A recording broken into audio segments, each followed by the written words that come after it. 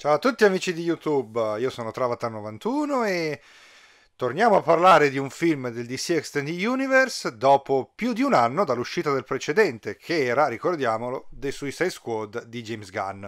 La DC nel frattempo non è che sia stata proprio con le mani in mano in quanto sono usciti The Batman e uh, la Lega dei Super Pets che però erano slegati appunto dal, dall'universo condiviso con cui vorrebbero contrastare il Marvel Cinematic Universe sono tornati appunto a ottobre 2022, per la precisione il 20, quantomeno in Italia, con il film che, come leggete dal titolo, è Black Adam, film diretto da Jaume Collet Serra, regista che io effettivamente già conoscevo perché avevo visto i suoi tre lavori precedenti a appunto questo Black Adam, che per la precisione erano dal meno recente al più recente. Paradise Beach dentro l'incubo, film di squali piuttosto carino, soprattutto se si pensa alla qualità media dei film sugli squali, ovviamente escludendo il capolavoro di Spielberg. Poi aveva tirato fuori The Commuter, l'uomo sul treno, che mi aveva sorpreso molto in positivo nella prima parte e poi nella seconda diventava il classico action tamarro con Liam Neeson, un vero peccato, però la prima parte era fatta davvero davvero bene e l'anno scorso era arrivato nelle sale Jungle Cruise. Voleva essere il nuovo Pirati dei Caraibi,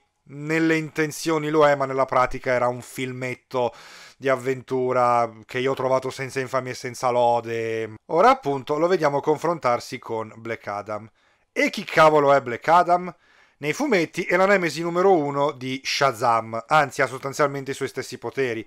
Chi ha visto Shazam ricorderà che alla fine del film, spoiler però è un film uscito anni fa quindi non mi faccio troppi problemi, alla fine di Shazam c'era il nostro protagonista principale Billy e poi c'erano gli altri suoi coetanei, i suoi amici slash fratelli adottivi che formavano la Shazam Family ma man- ed erano in sei e mancava poi un posto, c'era un posto vacante tra quelli in cui si sedevano.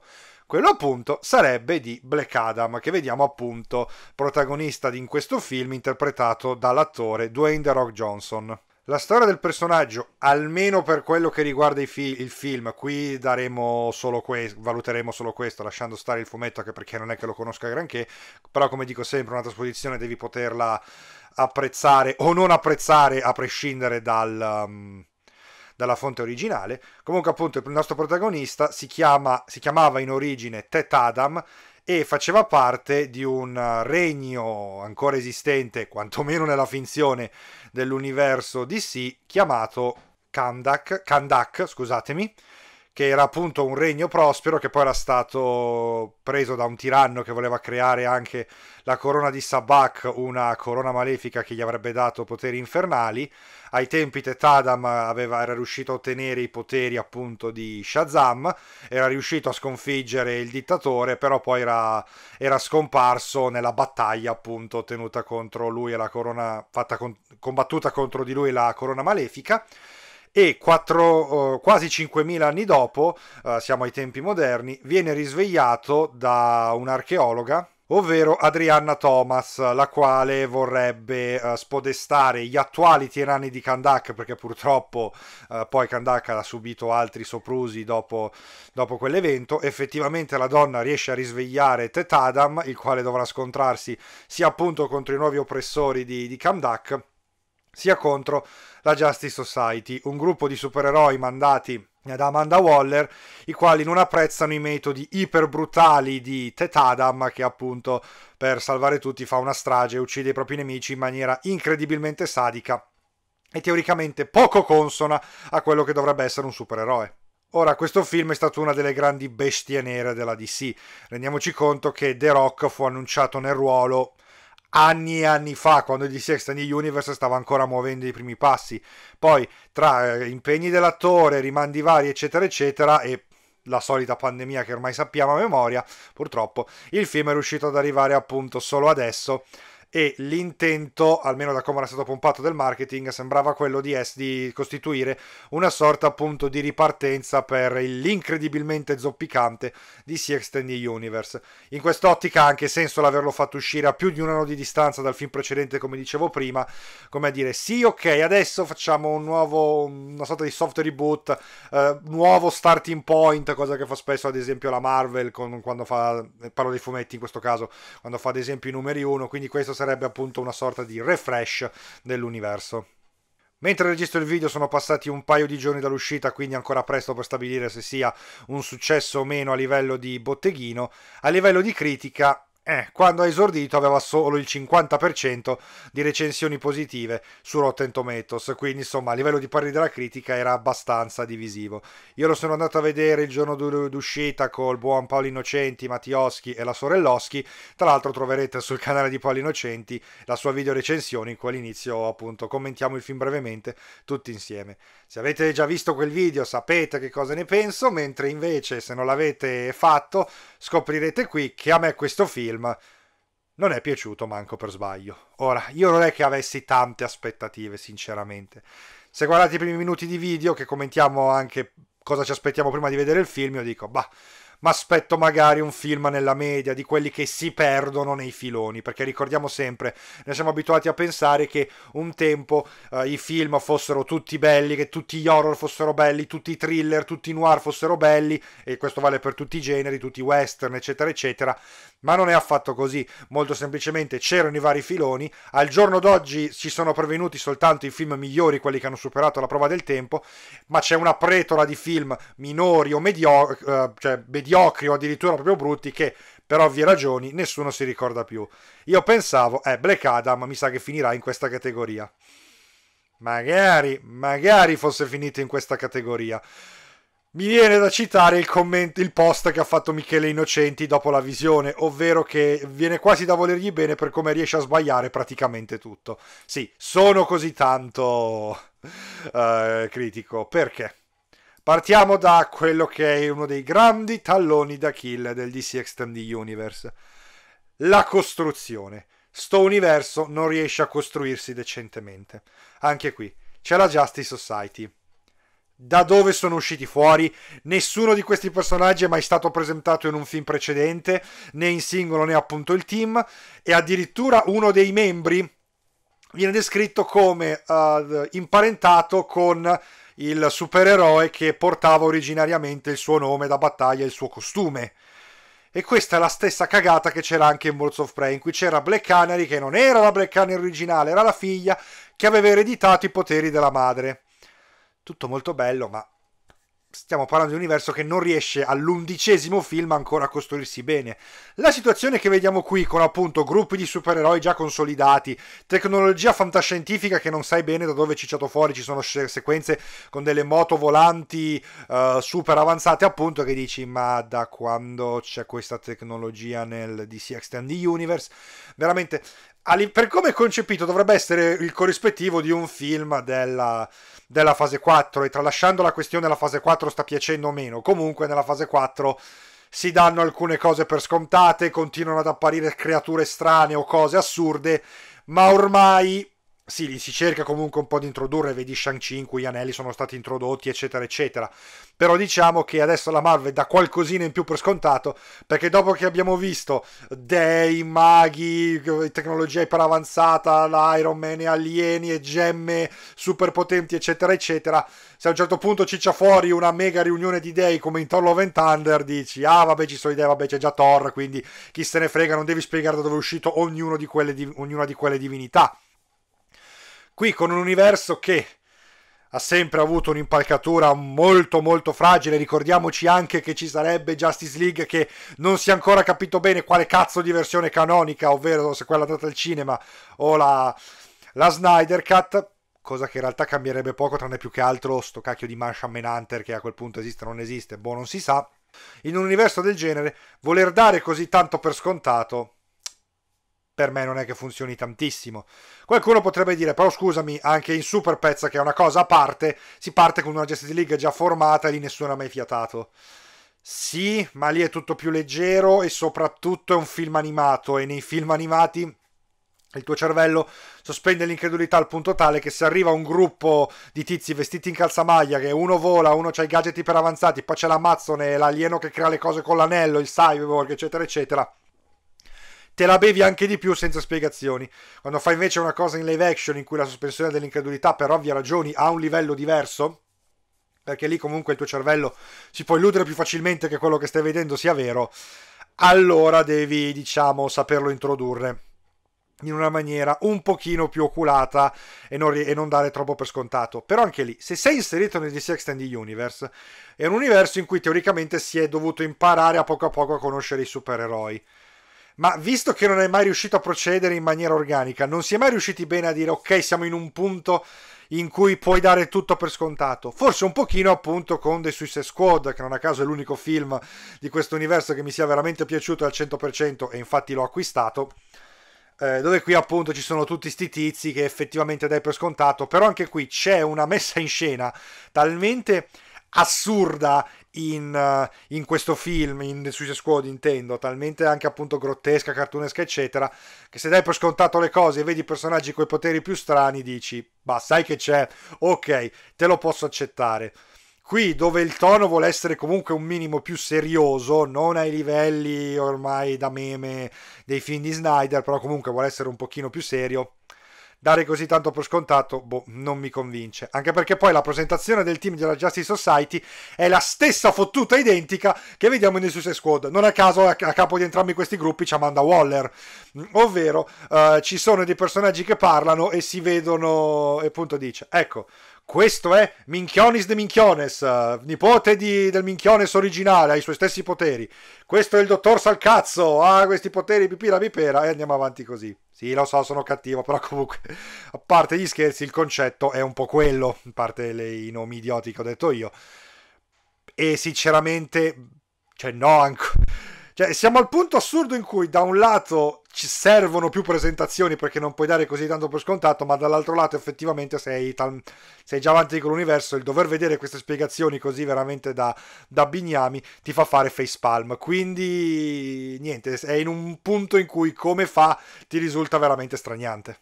Però uno dice, ok, un film può avere i problemi editoriali che vuoi dovuti all'universo, però devi anche saperlo valutare come film in sé. Detto appunto sui 6 Squad cioè The Suicide Squad che appunto ha sta roba sebbene mitigata del fatto che è un universo non proprio ben costruito però come film preso a sé regge perfettamente.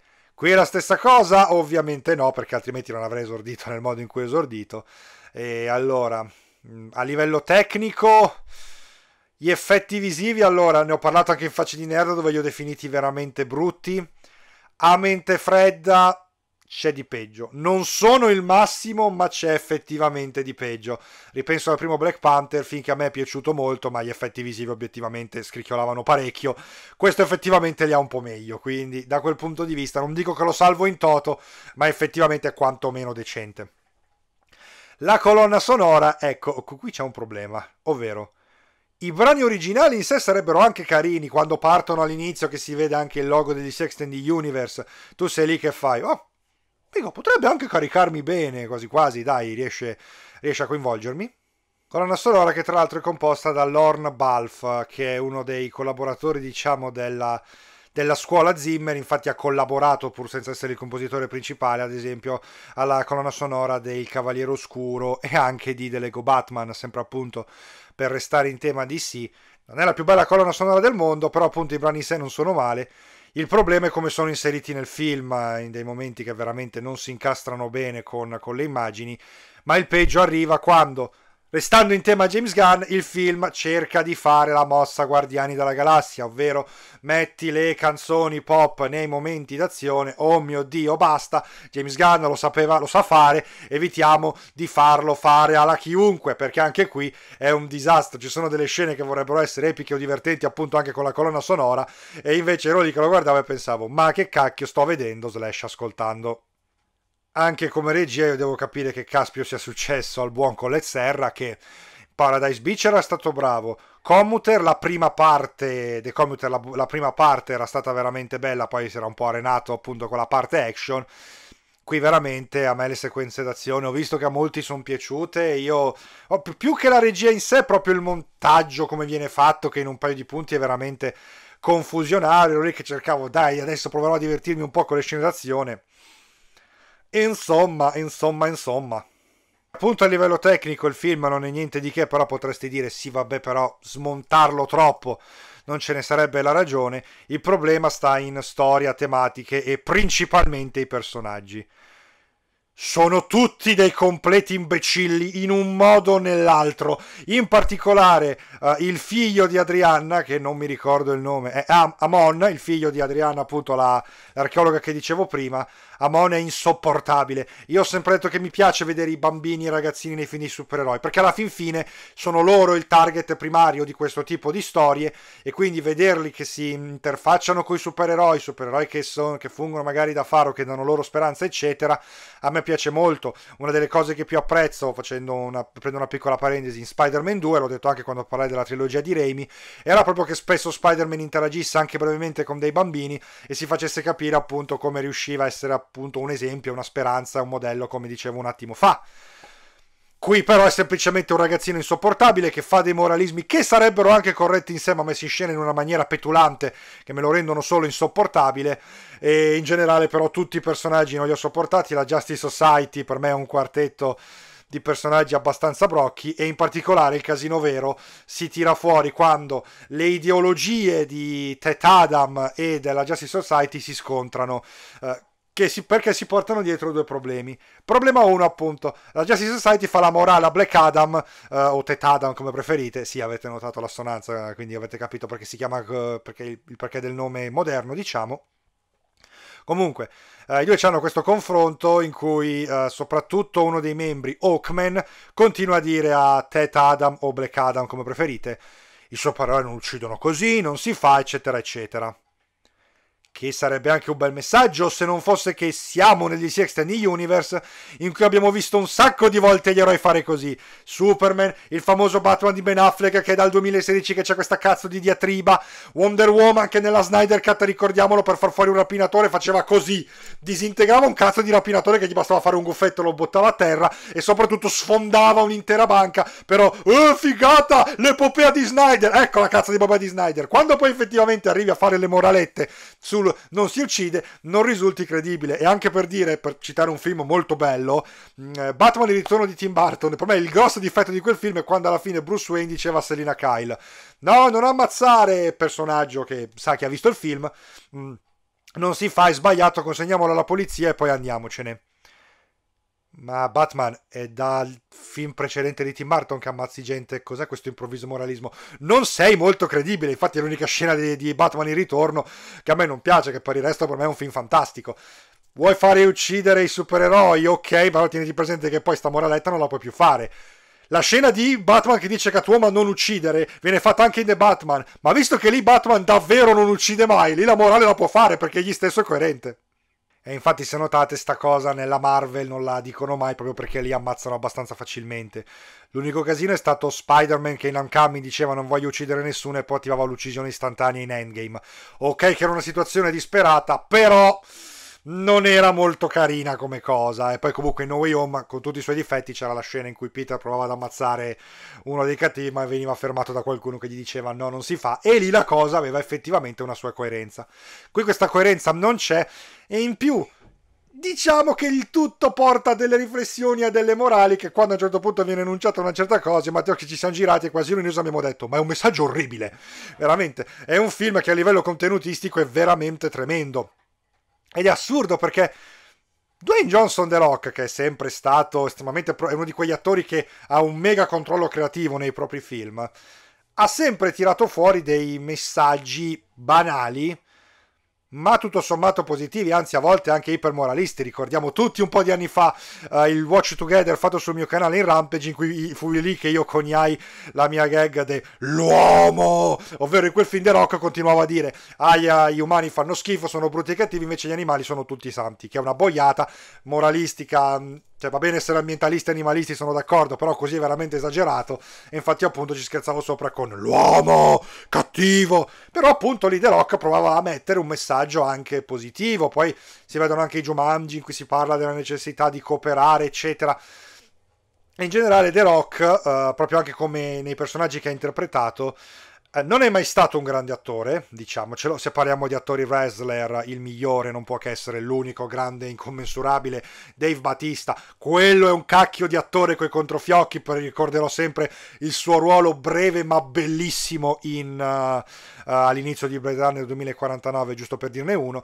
The Rock non si avvicina neanche a quella bravura, ma The Rock è molto bravo a vendersi, The Rock è un ottimo venditore di se stesso e quindi quando tu lo vedi sullo schermo non può che risultare farti simpatico. Qui no, è perennemente immusonito. Sono Black Adam, sono un cattivo nei fumetti e quindi devo fare così. Sebbene poi vi voglia presentarmi come buono, perché sono The Rock e The Rock non può essere troppo cattivo. Ma poi anche monolitico, cioè come abbiamo detto a facce di nerd, si muove soltanto in linea retta. Cioè, lo vedi proprio così, immobile, chiaramente serrato dei cavi, che fa. Oppure... O va giù così in questo tentativo di voler fare il solenne che però non funziona proprio. E tra l'altro mi ero scordato una cosa della regia. C'è chi ha detto che questo vuole essere un film snyderiano. E infatti sembra una brutta copia di Snyder, che già me Snyder non fa impazzire. Appunto, The Rock che fa così muovendosi in linea retta. È chiaramente un tentativo di replicare la solennità dei supereroi divini che appunto Snyder aveva infilato nei suoi film ma soprattutto c'è la questione del ralenti.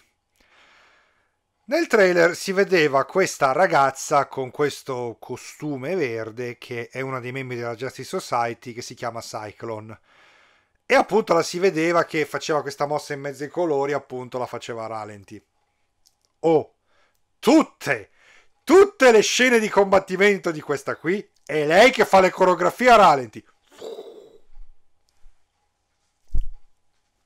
Tutte, tutte è ridicolo da fare schifo. Neanche Snyder abusa così tanto dei ralenti. E ricordiamo il famoso conteggio eh, durante il Watch Together della Snyder Cut in cui 4 ore arriva a farne 70. Eh, qui più o meno arriva a farne. Non dico, cioè arriva a farne non altrettanti, però comunque in un film che dura la metà ne fa più della metà il regista qui rispetto a quanti ne faceva Snyder, appunto, nella Snyder Cut.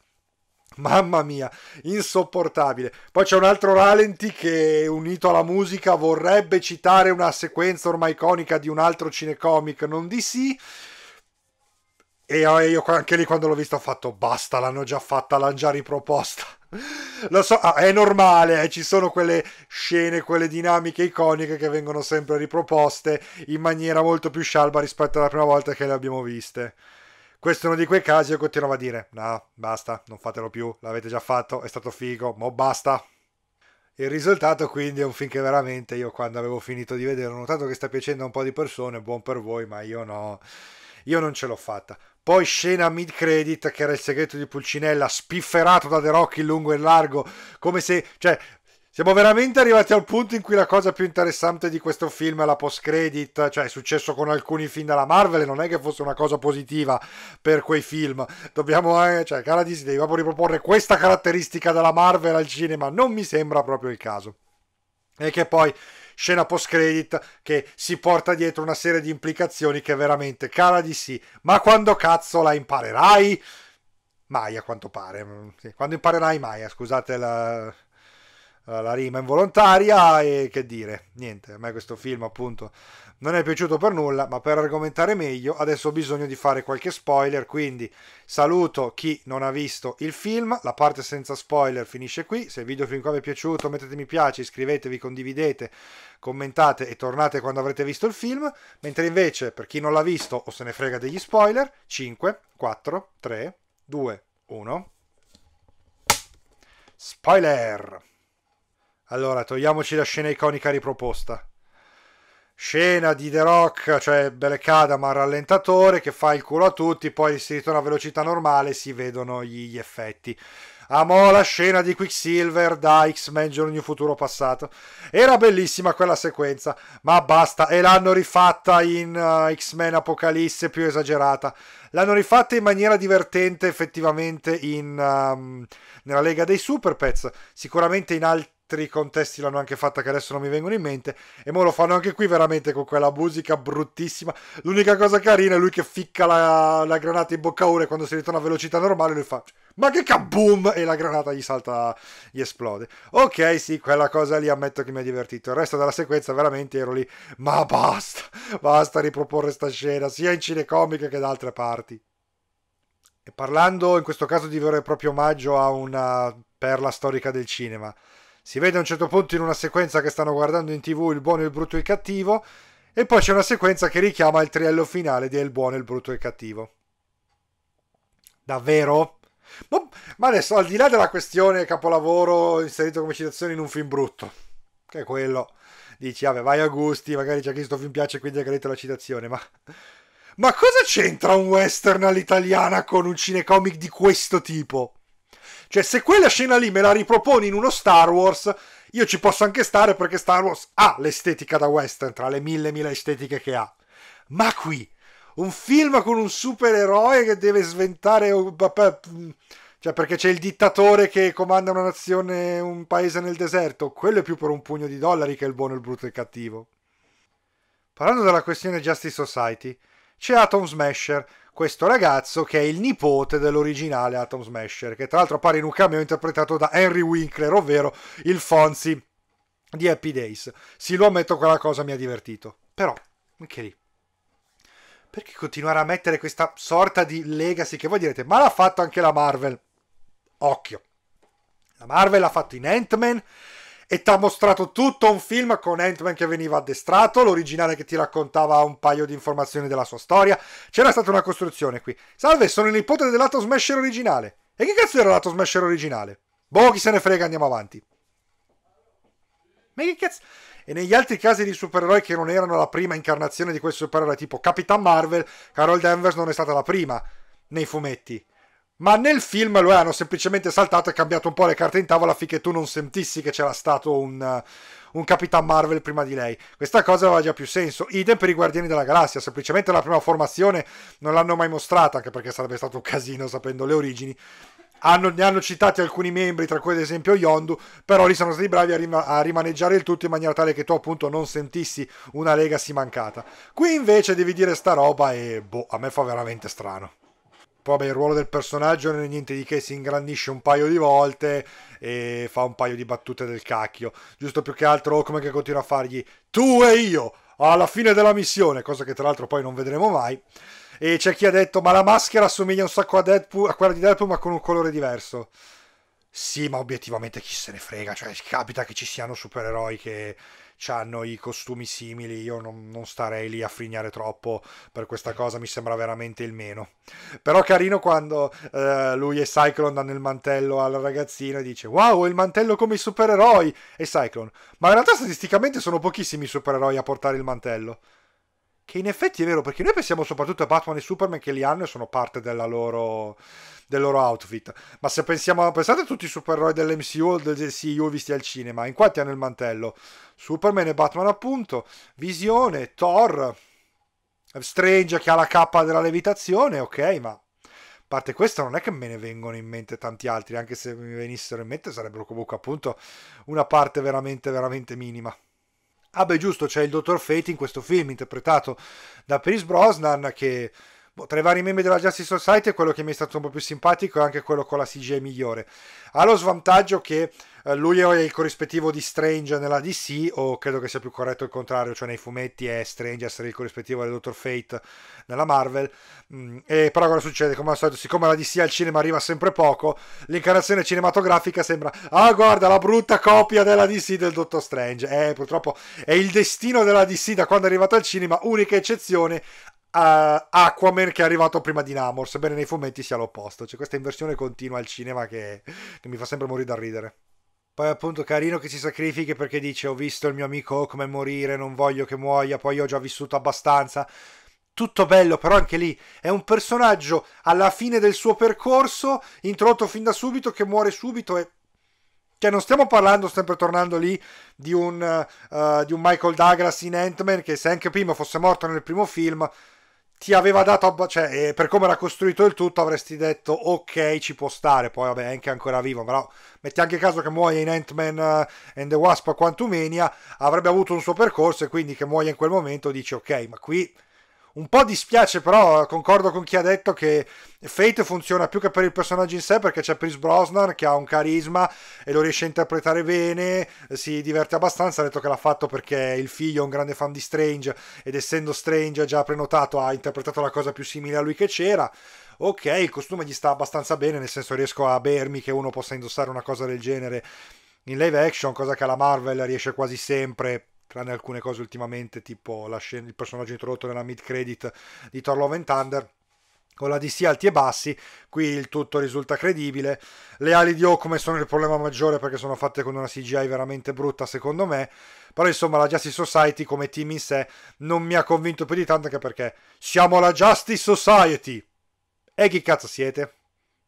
Cioè, veramente, ma possibile che il miglior team della DC visto al cinema sia di supereroi, quindi non contiamo gli anti-eroi della Suicide Squad?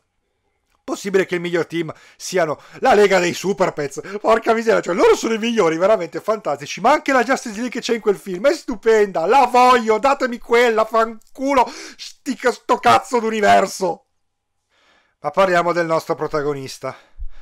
Si scopre che il campione scelto dai maghi per essere l'originario Shazam, Black Adam come preferite, non era il, colui che è interpretato da The Rock, ma suo figlio. Cioè sostanzialmente il figlio era stato scelto per essere il campione, il re si era vendicato del, um, del fatto che lo stava usurpando uccidendo uh, la madre e il padre, il padre però era ancora vivo e quindi il figlio gli ha trasmesso i poteri per poi essere ucciso subito dopo dalle guardie del re. Tralasciando che, come ha detto Mattioschi, la freccia lo colpisce qui, ma poi le guardie sono dietro, come cazzo ha fatto la freccia? Ma vabbè. Ma poi scusatemi, come cazzo lo stava combattendo il re? Cioè, con quei poteri lì, prima... cioè, nel film all'inizio sembra, subito dopo aver ricevuto i poteri, il campione andò dal re e gli fece il culo quadro. Sì, perché non l'ha fatto? Cioè, sei super potente, pigli il re, gli tiri una schicchera, il re o schiatta o comunque finisce KO e dici ok, mo, e poi dice a tutti i soldati ok, mo basta opprimere la gente se no vi faccio il culo. Così non succede, il ragazzo faceva non so bene che cosa e, e alla fine il padre appunto incazzato nero per la morte del figlio va e uccide sia il re, gli distrugge il palazzo eccetera e questa cosa non piace ai maghi che lo imprigionano. Tralasciando il fatto che che cazzo serve imprigionare uno se basta letteralmente che Adrianna inciampi, lega l'iscrizione e lui si libera. Wow! Cioè, la, tutta la dinamica ricorda molto la mummia di Sommers, no? il tizio imprigionato eh, nella grotta, eccetera. Solo che lì appunto c'era eh, la città dei morti che era difficile da trovare, protetta dalle guardie. L'incantesimo era in un libro, ti serviva la chiave per aprire il libro, la chiave per aprire il sarcofago, cioè si dovevano incanelare tutta una serie di avvenimenti per liberare Imhotep lì. Qui invece veramente, oh sono inciampata, e Black Adam risvegliati, boom, sei risvegliato. Ok, poi non mi è piaciuto il prologo con la classica voce narrante, per carità, è classico dei fantasy, ma qui non ce n'era bisogno, cioè poteva, potevi secondo me integrarlo bene spiegandolo durante la narrazione, anche perché in alcuni punti ci sono delle spiegazioni leggermente ridondanti, secondo me potevi inserirle lì meglio ed evitarti lo spiegone, il classico spiegone iniziale, io l'avrei sinceramente preferito. Comunque, appunto, ci sono questi plot twist assurdi. Tra l'altro, era già spoilerato nei trailer che uh, lui era il padre di un ragazzino ucciso. Quindi, perché cazzo spoilerare il plot twist nel trailer? Vabbè. E l'altra cosa, comunque, mh, appunto, i maghi si sono incazzati con lui perché ha ucciso. Ma anche qui, ma i supereroi di sì hanno già ucciso. Allora, se volevano metterla giù bene, dovevano fare così. Lui arrivava lì, ammazzava il re e gli dicevano guarda i maghi l'avrebbero anche tollerato perché in un regno tirannico bisogna far fuori il tiranno eh, purtroppo per diciamo arrestare il tutto. Non è, non è, che basti proprio questo poi diciamo che quando sei così potente se con un fulmine fulmini il, il tiranno diciamo che magari i suoi sottoposti si calmeranno un po' e potevi fare appunto che eh, lui che magari facevi vedere lui che ammazzava il tiranno i soldati si arrendevano qui dicevano ok basta hai vinto non, non ti combatteremo stai tranquillo hai vinto tu e nonostante appunto i soldati si fossero arresi, lui li avesse uccisi comunque in stile finale di Game of Thrones, sapete a cosa mi riferisco, e chi non lo sa almeno non si spoilerà nulla. Appunto, uh, se facevano una dinamica del genere avrei capito dicevano cazzo, quelli si erano arresi e tu li hai uccisi lo stesso. Lì invece sembra lui arriva lì, c'è lì la corona, che sovrano sta per indossare la corona, lui lo disarma e poi fa esplodere tutto. E anche qui, ok, sei stato uno stronzo a fare questo. E Superman che prendeva il tipo lì, il dittatore, se lo trascinava via all'inizio di Batman Superman, quello andava bene, eh. E già so che voi direte, eh ma c'era la donna che piangeva per la cosa bipira bipera. Sì, ma in teoria lei aveva torto, cioè il film le voleva dare torto, quindi boh, non si capisce bene, c'è questa sorta di ambiguità morale che poi si risolve nella frase agghiacciante in cui uh, Hawkman gli fa, eh, tu però non sei un eroe classico. E Adrianna, è vero, ma l'oscurità che c'è in lui può, gli consente di fare cose che voi eroi comuni non potete fare. Quindi capita? Bello uccidere la gente. Perché essere un eroe senza macchia che pre- preferisce evitare di uccidere a meno che non sia strettamente necessario? No, no, ammazzate pure. Eh, viva i messaggi della DC. Eh, la DC adulta mi dicono, eh, ma vaffanculo. Contra l'altro il momento in cui de- Tetadam ricorda suo figlio e dice, eh, la verità è che il mondo era più bello quando c'era lui. E io lì sono morto da ridere perché, cazzo, ma va vero? Cioè, in America non ce l'hanno eh, quella, la frase quando c'era. E quindi io capisco che sentendolo cioè che loro non si siano fatti prima scrivere questa battuta. Ci sta, ognuno ha i propri modi di dire che magari risultano sconvenienti da altre parti, ma non lo puoi sapere. Però anche i doppiatori italiani e i trattatori potevano tradurla in il mondo era bello solo quando era vivo. Bastava dire così, dai. Non proprio che replichi quella battuta. Poi cazzo c'è De Rocca che qui che non ci aveva fatto caso, ma con la pelata così il Terosero sembra la versione iperpumpata del, del Duce. Porca miseria, cioè veramente. No, quel messaggio lì è terribile e non, ve, non, amm- non ammetto scuse qui, veramente. No, no, no, no. no. Eh, e appunto, ma anche gli eroi Marvel uccidono. Sì, ma lì, cioè il punto è sempre quello. Nella DC sono sadici nell'uccidere. Nella Marvel, a parte contro Thanos in Endgame, nel, soprattutto all'inizio di Endgame, quello all'inizio di Endgame, e lì la cosa comunque non è che viene poi mostrata in maniera uh, esaltata, lì potevi anche capirlo. Qui veramente sono sempre incazzati a gratis, cioè, che poi è strano. È un film che un po' sembra voler essere Snyder, un po' no perché dice non si uccidono gli scagnozzi così male come invece faceva Snyder, no però alla fine va bene, ma ci vogliamo decidere? Anche perché poi c'è lì Amon che dice, cioè con Tetana che dice, eh, qualcuno gli deve insegnare la violenza. E lui, e chi mi insegna la violenza? Ma nessuno, i supereroi non fanno questo innanzitutto. Però poi alla fine sono tutti uniti lì con sto cazzo di simbolo della rivoluzione che è piuttosto equivoco e tutti a fare oh, viva il campione, viva il campione, eh, che insegna la violenza ai nostri bambini, con veramente la folla che poi va a affrontare le armate di teschi alla fine, che tra l'altro, di scheletri scusate, che tra l'altro sembrano, sembravano la folla di Halloween Kills, il male muore stanotte, il male muore stanotte, in questo caso invece gli scheletri di merda cadono come niente, veramente, ma che cazzo di armata delle tenebre Cita, ecco, citazione volontaria al capolavoro di Raimi, lasciamo stare. Eh, appunto, poi lì è veramente la CGI peggiore, quegli scherzi fanno veramente cagare, ma anche alla fine lì il demone, Sarbak, oh, già, sono già scordato, guardate quanto sono intelligente. Eh, Sabak, scusatemi. Sabak, lì il design mi fa veramente cagare. Il classico, una sorta di, vers- incrocio brutto tra il boy e il, il, diavolo che si vede in Legend di, di Ridley Scott, fatto con una CGI non al top, che poi viene ucciso male alla fine, in quella battaglia finale. Boh, vabbè. Ah, tra l'altro, Black Adam che... Eh, cioè, che appunto che gli dicono no, non ti uccideremo però ti terremo ibernato vita naturale durante sarà come se fossi morto e allora uccidilo e fai prima sinceramente cioè, le prigioni in cui ti tengono in coma non le ho mai capite a questo punto ammazzale e basta perché non è che ci sia tutta questa differenza comunque a parte questo lui poi che alla fine si riprende perché viene liberato da Fate. Tra l'altro picchia e ammazza le guardie che poverine erano solo lì a fare il loro lavoro e a tenere dei criminali sotto controllo. Per carità in una maniera, ripeto, orribile, però comunque stavano tenendo sotto controllo dei criminali. E la cosa è pure eroica lì, sempre con quei ralenti del cazzo. Poi alla fine lui emerge dall'acqua dopo che ha nuotato. Shazam! E si trasforma e va a salvare tutti, eccetera. Va bene? Alla fine quindi arriverà Shazam a dirgli ma che cazzo, tu sei l'ultimo di noi? No, perché siccome The Rock ha insistito tanto, torna Henry Cavill nel ruolo di Superman e i due si scontreranno e hanno annunciato Man of Steel 2. Ora, il titolo è provvisorio, magari non sarà veramente un seguito dell'uomo d'acciaio, sarà un reboot sempre con Henry Cavill, ma se davvero vogliono ancora continuare gli DC Extended Universe che hanno risumato Cavill e stanno davvero risumando il Batman di Ben Affleck, lasciatemelo dire, alla Warner sono dei completi coglioni ritardati. E voi direte, no, non si dice così porta rispetto. No, porca di quella vacca. La DC al cinema è andata a puttane per colpa di Batman v Superman ed è inutile che ci siano i italiani che dicono no, non è vero.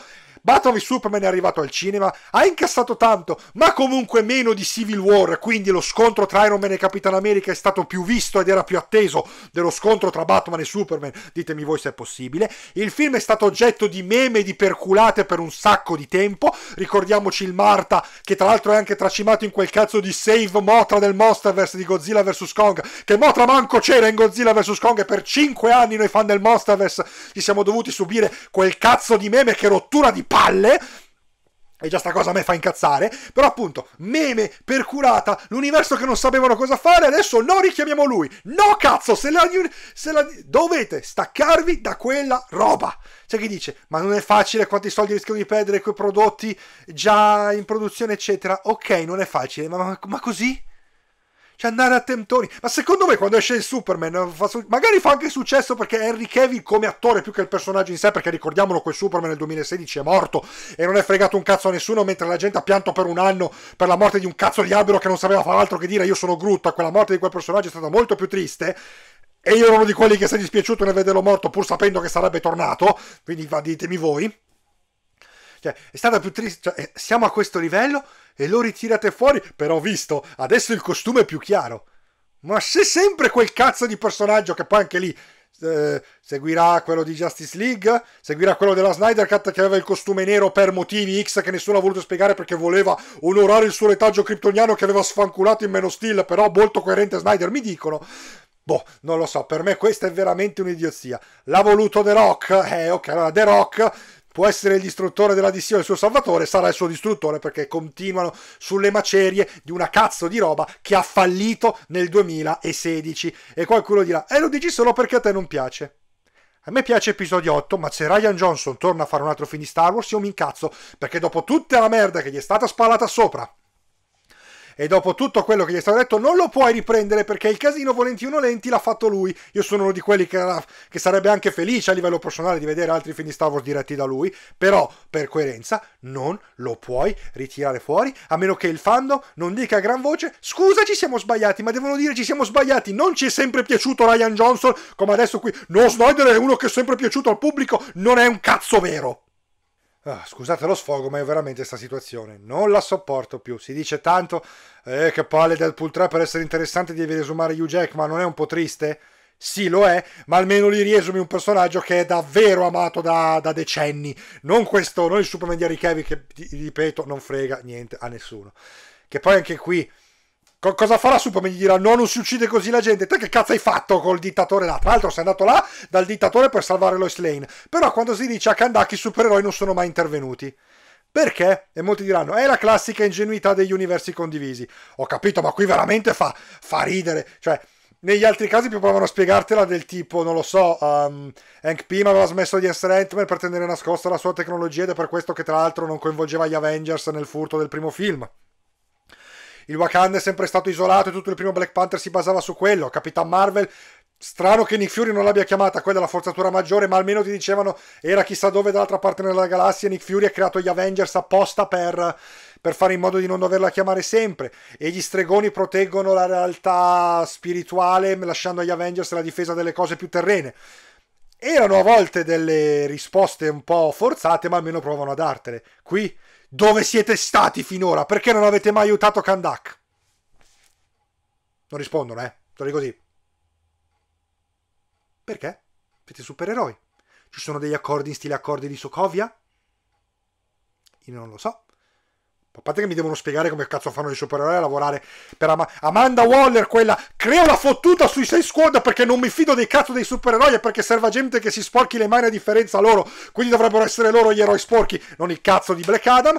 Però vabbè, diciamo che vabbè, Questa, roba, questa ridondanza anche che cazzo di senso ha fare un film su Black Panther quando c'è un personaggio Shazam che ha già gli stessi poteri vabbè comunque Amanda Waller che non si fidava dei supereroi no qui c'è la Justice Society Ora, io sono il primo a dire che le saghe hanno contraddizioni e cose del genere, ma qui veramente siamo a dei livelli in cui ti viene da dire, ma mi prendi per il culo! Mi manchi la Marvel nella fase 4, sti cazzi! Numero uno, se sbagliano loro, un motivo in più per cui non dovrebbe sbagliare la DC, che almeno li cura, visto che ora stanno un po' scricchiolando con la fase 4. In secondo luogo, avranno anche avuto i loro momenti di contraddizioni, ma cazzo, rispetto a questa, la Marvel è veramente 10 lampe di scale sopra. E che altro c'è da dire? Non ho in mente qualcosa, vabbè c'è lo zio, c'è lì il fratello di uh, Adrianna che questa macchietta classica, giusto l'unica cosa carina è uh, Dottor Fake che gli dice uh, se non vuoi morire stai lontano dall'elettricità, ma io sono elettricista! Ok, quella era carina, rovinata da lui che va lì a pestare lo scheletro.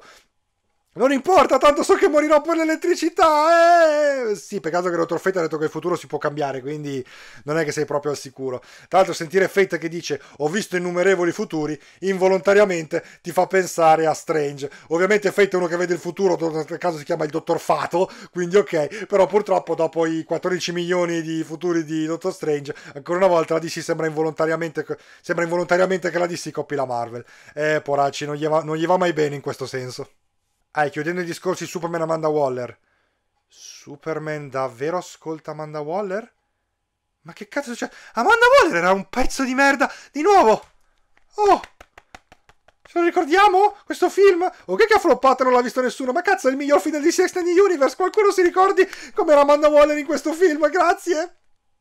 Vabbè, uh, casini, casini su casini. Detto questo, questa recensione finita in sfogo finisce qui. Grazie per averla seguita. Se vi è piaciuta mettete mi piace, iscrivetevi, condividete, commentate e ci vedremo un prossimo video in cui spero di trattare qualcosa di meglio di questa schifezza. Ciao ciao ragazzi!